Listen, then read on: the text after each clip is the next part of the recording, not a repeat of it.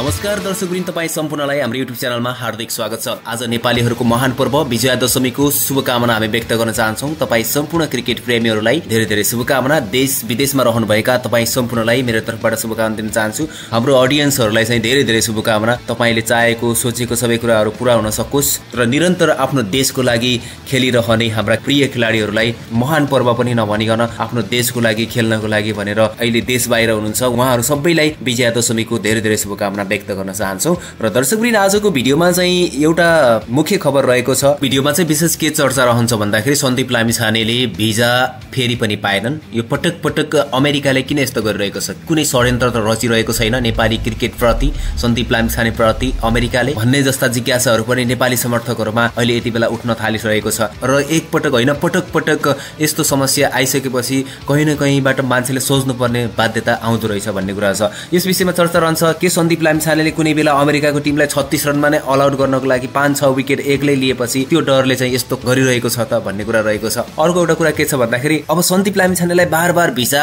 प्रक्रियामा नै समस्या देखाउनु अर्को कारण के होला? अब कसरी उनी अमेरिका जान सक्छन् भन्ने विषयमा पनि चर्चा रहनेछ। अवश्य पनि भिडियोलाई अन्त्यसम्म हेर्नुहोला दर्शकवृन्द नेपाली राष्ट्रिय क्रिकेट टोली ICC cricket world cup league दुई प्रतियोगिता अन्तर्गतको श्रृङ्खला खेल्न क्यानाडाबाट अमेरिका प्रस्थान गरिसकेको छ र टोलीका एकदमै महत्वपूर्ण स्पिनर सन्दीप लामिछाने पनि स्वदेश फर्किएको खबर तपाईँले सुनिसक्नु भएको छ। यो सबैतिर भाइरल पनि बनिरहेको अवस्था चाहिँ छ। र किन यस्तो गर्यो भनेर धेरैजनाले चासो र चिन्तन पनि गरिरहनु भएको छ। नेपाली समर्थकहरूमा यो चिन्ताको विषय त छँदैछ। हरेक समयमा अमेरिकाले सन्दीपलाई नै भिसा नदिनु विश्वकपको समयमा पनि त्यस्तै समस्या थियो र अहिले पनि त्यस्तै समस्या। र विश्वकपको बेलामा त उनी त्यहाँ अमेरिकामा जान पाएनन्। अमेरिकामा जान पाएको भए नेदरल्यान्डसँग सायद नेपाली क्रिकेट टिमले जित हासिल गर्न सक्दथ्यो। त्यो एकदमै दुःखद थियो। सन्दीपसँग अमेरिकाको भिसा नभएका कारण उनी क्यानाडाबाट नेपाल फर्केका थिए। पटक आवेदन गर्दा पनि नेपाल स्थित अमेरिका राजदूतावासले सन्दीपलाई भिसा दिन अस्वीकार गर्दै आइरहेको छ। यो किन गरिरहेको छ त? यसमा बुझ्न जरुरी छ नि त। यसको बारेमा चाहिँ कसले ध्यान दिने नेपाल सरकारले नेपाल क्रिकेट सङ्घ क्यानले अथवा हामी समर्थकले। गहिरो सवाल छ यतिका दिनसम्म पनि भिसामा समस्या हुँदाखेरि पनि सन्दीप लामिछानेलाई नेपाल झिकाउन सक्थ्यो होला नेपाल क्रिकेट सङ्घ क्यानले होइन? नेपाल सरकारलाई जानकारी गराउन सक्थ्यो होला। त्यो हुन त प्रोसेस गरेको होला। हामीले नदेखेको हुनसक्छौँ उनीहरूले नभनेको हुनसक्छ। अहिले पछिल्लो समयमा सन्दीपप्रति निर्णयहरू जुन एकदम गुपचुप रूपले गरिरहेको छ नेपाल क्रिकेट सङ्घ क्यानले त्यो सम्मानजनक पनि छ तारिफ योग्य पनि छ। त्यो भनिरहँदाखेरि चाहिँ सन्दीप लामिछानेको बारम्बार भिजा समस्या देखिरहँदा चाहिँ यसलाई चाहिँ कहिले समाधान गर्ने र कसले समाधान गर्ने भन्ने विषय पनि रहन्छ। सन्दीपले आफू विरुद्ध लागेको जबरजस्तीकरणी मुद्दामा भने उच्च अदालत पाटनबाट सफाई पनि पाइसकेका छन्। अब यो कुरालाई लिएर भिजा नदिएको भन्ने भने होइन सन्दीप लामिछाने विरुद्ध अमेरिकामा चाहिँ इन्टरपोल पनि परेको थियो। अहिलेसम्म त्यसको क्लियरलिटी भएको छ कि छैन भन्ने कुरा पनि यसमा न्युजमा आएको छैन केही समय अगाडि आएको थियो। अब अहिले पछिल्लो समयमा त झन् सन्दीप लामिछाने एकदमै क्लियर भइसकेका छन् कि सन्दीप लामिछानेको केस बिल्कुल क्लोज भइसकेको अवस्था चाहिँ छ। महानाधिवक्ताको कार्यालयले पनि उच्च अदालत पाटनको निर्णय विरुद्ध सर्वोच्च अदालतमा पुनरावेदन नगर्ने बताइसकेको अवस्थामा फेरि किन सन्दीप लामिछानेलाई अमेरिकी दूतावासले भिजा दिँदैन त? यस विषयमा कसको ध्यान जान जरुरी छ त दर्शकबिन तपाईँले तलको कमेन्ट बक्समा लेख्नुहोला। हाम्रो सरकार नै लाचार छ। हाम्रो नेपाल क्रिकेट सङ्घ नै लाचार छ।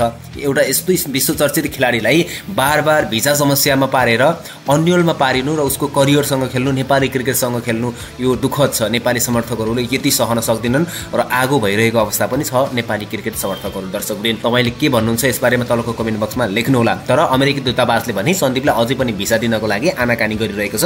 अझै यो भनौँ अस्वीकार गरेको छ। सन्दीपले ICC cricket world cup league दुई अन्तर्गतको श्रृङ्खला खेल्न क्यानाडा प्रस्थान गर्नुभन्दा निकै अगाडिदेखि अमेरिकी दूतावासमा भिसाका लागि आवेदन गरेका थिए तर अहिलेसम्म पनि त्यो भिसाको स्वीकृति दिएको छैन आनाकानी गरिएको छ। तर अमेरिकी दूतावासमा सन्दीपले गरेको भिसा आवेदन अझै पनि होल्डमा नै छ दर्शक त्यसपछि उनी पासपोर्ट फिर्ता लिएर क्यानाडा प्रस्थान गरेका थिए। नेपाल क्रिकेट सङ्घका प्रवक्ता छुम्बी लामाले सन्दीप नेपाल फर्किएपछि पुनः अमेरिकी दूतावासमा भिसाको प्रक्रिया अगाडि बढाइने जानकारी पनि दिएका थिए। तर सन्दीप लामिछाने क्यानाडाबाट नेपाल फर्केपछि मात्रै अमेरिकी दूतावासमा भिसाको प्रक्रिया अगाडि बढाउनु थियो भने किन सन्दीप लामिछानेलाई क्यानाडाबाट नेपाल झिकाइएन त? नेपाल किन बोलाइएन भन्ने पनि प्रश्न छ यहाँनिर। क्यानाडाबाट छिटै नै बोलाउनु पर्थ्यो नि त। नेपाल क्रिकेट टिमले त क्यानाडामा लिग दुईका म्याचहरू उति बेलै सकेको थियो। बल्ल अहिले नेपाल क्रिकेट टिम क्यानाडाबाट अमेरिका प्रस्थान गरिसकेपछि सन्दीप लामिछाने यता फर्किने। किन त्यहाँ प्र्याक्टिस म्याचमा किन बस्नु परेको थियो सन्दीप लामिछाने? यदि उनले खेल्नु नै थिएन भने अब लिग दुईका म्याचहरू उनी खेलिसकेका थिए।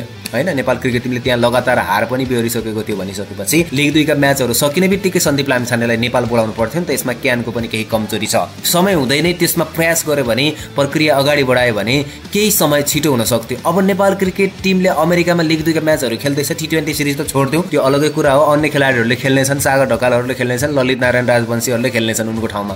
ठिकै छ तर लिग दुई यति महत्त्वपूर्ण छ लिग दुईको पोइन्ट्सहरू पाउनको लागि लगातार हारिरहेको नेपाललाई त्यहाँनिर पोइन्ट्स पाउनको लागि सन्दीप लामिछानेको एकदमै धेरै भूमिका हुन्छ जित दिलाउनको लागि आफ्नो टिमलाई। त्यस कारणले लिग दुईको म्याचहरू खेल्नको लागि सन्दीप लामिछाने अभाइलेबल हुनु पर्थ्यो त्यस कारणले गर्दा समयमा नै प्रोसेस गरेको भए भिजा प्रक्रिया अगाडि बढाएको भए सन्दीप लामिछानेले समयमा नै भिजा पाउन सक्थे अथवा प्रयास गरेको खण्डमा छिटै नै गएको खण्डमा सन्दीप लामिछाने लिग दुईका चारवटै म्याच अमेरिकामा खेल्न पाउँथे भन्ने कुरा हो। अब यो कुरालाई गहन विषयमा लिएर सोचेको खै नेपाल क्रिकेट सङ्घ क्यानले? सन्दीप लामिछाने नेपाल आएपछि नै गर्नुपर्ने थियो भने चाहिँ किन चाहिँ क्यानेडामा उनलाई राखियो? यतिका दिन। यसमा चाहिँ मेरो सवाल छ। यसको जवाब चाहिँ कसले दिने होला? यसमा जिम्मेवार चाहिँ को रहन्छ भन्ने विषय पनि रहन्छ दर्शक वृन्द। के मैले भनेको कुरा गलत छ? सन्दीप लामिछानेको भिजा होल्डमा थियो प्रक्रिया बढाइएको थिएन अगाडि भनिसकेपछि त सन्दीप लामिछानेलाई समयमा नै क्यानेडाबाट बोलाएको भए अहिलेसम्म भिजा आइ पो सक्थ्यो कि? होइन अब लिग दुईका केही म्याचहरू उनले गुहाउन पनि सक्ने छन् दर्शक महानुभाव यो नेपाली क्रिकेटको लागि दुःखद छ। अब अर्को कारण के छ भन्दा उनको केसले गर्दा भिजा नदिएको भन्ने हो भने पनि महान्यायाधिवक्ताको कार्यालयले पनि केही समय अगाडि नै सन्दीपको मुद्दामा सर्वोच्चमा पुनरावेदन नगर्ने निर्णय पनि गरिसकेको छ सुनाइसकेको छ सर्वविदित छ सबैलाई। अब अमेरिकी दूतावासले यस विषयलाई पनि ध्यान दियो भने भिजा सहजै दिन सक्छ अब। भिजा दिन सक्ने विश्वास अब लिएको छ क्यानले भन्ने खबर पनि आएको छ। अमेरिकामा लिग दुई प्रतियोगिता अक्टोबर पच्चिस तारिकदेखि सुरु हुनेछ। प्रतियोगितामा नेपालले आफ्नो पहिलो खेल अक्टोबर सत्ताइस तारिकमा आयोजक अमेरिकासँग खेल्नेछ। नेपाली टोलीले आफ्नो दोस्रो खेल उनातिस तारिकमा स्कटल्यान्डसँग खेल्नेछ। नेपाली टोलीले नोभेम्बर दुई तारिकमा आफ्नो तेस्रो खेल अमेरिकासँग नै खेल्नेछ भने नोभेम्बर चार तारिकमा नेपालले आफ्नो चौथो खेल स्कटल्यान्डसँग खेल्नेछ। दर्शक यो पनि मैले तपाईँलाई जानकारी गराउन चाहेँ। र त्योभन्दा अगाडि चाहिँ तिन खेलको टी ट्वेन्टी सिरिज खेल्नेछ। सत्र उन्नाइस र बिस तारिकको अमेरिकासँग खेल्नेछ। टी ट्वेन्टी आई सिरिज रहनेछ त्यो त्यो सिरिज चाहिँ सन्दीप लामिछानेले गुमाउने नै छन् र मलाई त जहाँसम्म लाग्छ लिग दुईका चारवटै म्याच पनि गुमाउन सक्ने सम्भावना बढी देख्छु मैले चाहिँ। अहिलेसम्म पनि भिजाको प्रक्रिया होल्डिङमा नै छ भनेपछि अब उनको भिजा कहिले सक्सेस होला त भन्ने कुरा हो। र अर्को एउटा महत्त्वपूर्ण कुरा के छ भन्दाखेरि सन्दीप लामिछानेले चाहिँ अमेरिकाको टिमलाई छत्तिस रनमा नै अलआउट गर्नको लागि योभन्दा अगाडिको लिग दुईमा चाहिँ निकै नै अहम भूमिका खेलेका थिए र सन्दीप लामिछानेले एक्लैले पाँच विकेट मलाई लाग्छ जहाँसम्म पाँच विकेट छ विकेट लिएका थिए सन्दीप लामिछानेले त्यो खालको प्रदर्शन गरेर अमेरिकाको टोली छत्तिस रनमा नै अलआउट भएको थियो। त्यो शक्तिशाली टोली छत्तिस रनमा नै नेपाल जस्तो टिमसँग अलआउट भएको थियो। त्यही डरले हो धेरैजना फ्यान्सहरूले चाहिँ यो पनि भनिरहनु भएको छ। सन्दीपको डरले चाहिँ सन्दीपलाई भिजा दिनको लागि हरेक समयमा आनाकानी गर्छ युएसएले भनेर चाहिँ भन्नुहुन्छ। तर यो सत्यता नहोला तर गहन विषयले अध्ययन गर्ने हो भने त्यो पनि हुनसक्छ। तर अमेरिकाको एम्बेसीले चाहिँ भिजा दिनु आवश्यकता छ। अब नेपाली समर्थकहरूले यो पनि भनिरहेका छन् कि अमेरिकामा हुने कुनै पनि खेल गतिविधिलाई बहिष्कार गर्नुपर्छ नेपालले। र कतिपयले यो पनि भनिरहनु भएको छ कि सन्दीप लामिछानेलाई भिजा नदिइसकेपछि सबैजना खेलाडीहरूले हामी नै जाँदैनौँ हाम्रो टिम नै जाँदैन त्यहाँ भन्ने जस्ता टिका टिप्पणीहरू पनि गर्नु भएको छ। त्यो चाहिँ अलिकति अयोग्य होला तर एउटा स्टार खेलाडी भनौँ न विश्व चर्चित खेलाडीलाई चाहिँ हरेक समयमा चाहिँ भिजाकै समस्या देखाएर चाहिँ अमेरिकाले गर्न खोजे चाहिँ के? अब उनको केस पनि क्लोज भइसकेको छ।